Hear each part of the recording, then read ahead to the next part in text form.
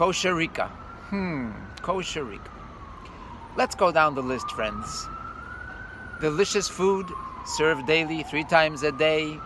Check. Wonderful classes and shiurim. Check. Beautiful cabins. Check. Great entertainment.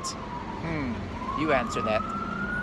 But in addition to all that, being on the high seas and under the stars, you actually feel closer to God. You really do. There's something spiritual about it. So, for the body and for the soul, see you on the Costa Rica cruise.